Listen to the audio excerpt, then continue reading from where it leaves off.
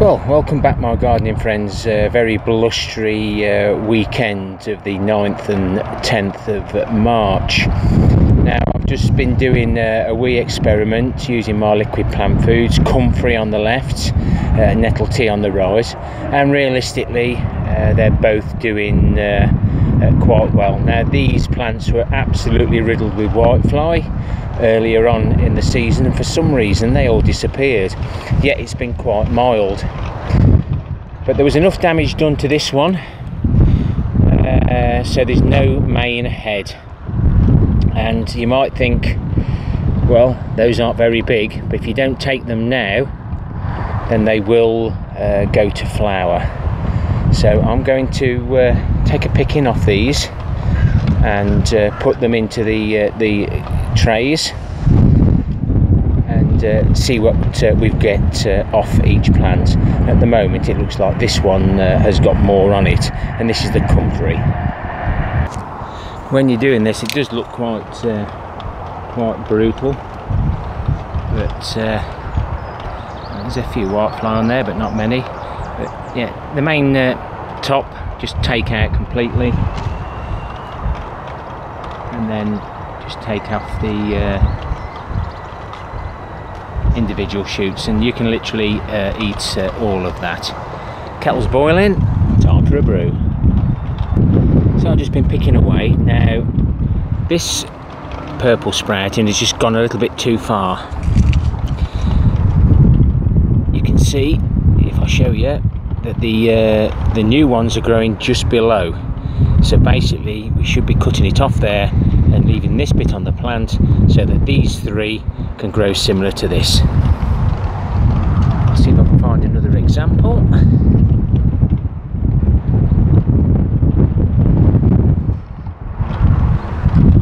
So basically between each leaf a new one grows. So we only take the top part of the uh, broccoli. I'll move on to the next one. So the main object of uh, picking the purple sprouting is to make sure it doesn't flower because once it starts flowering it stops growing and cutting off as many of these small heads uh, as we can to leave uh, the ones at the back and uh, pick pick and pick regularly. Now the reason the debris netting's there because uh, the pigeons love to fly and they land on the top so I just cover everything over if they can't land on the top, they can't get at your prize um, uh, florets.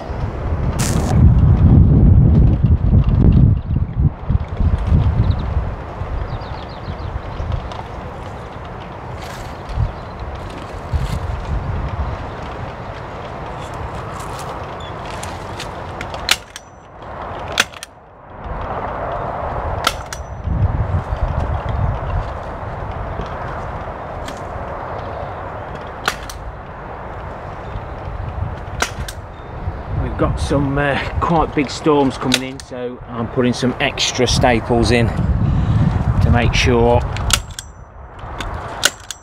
the wind doesn't uh, blow this over. And I'll be checking this uh, on a regular basis and picking any fruits that we get. So comfrey nettle manure bin runoff but like you say uh, pick regularly and uh, I'll continue to feed. Uh, I might miss this week and give them another feed next week don't to overdo it and see what we actually get of these plants. But that's the first harvest of the purple sprouting broccoli.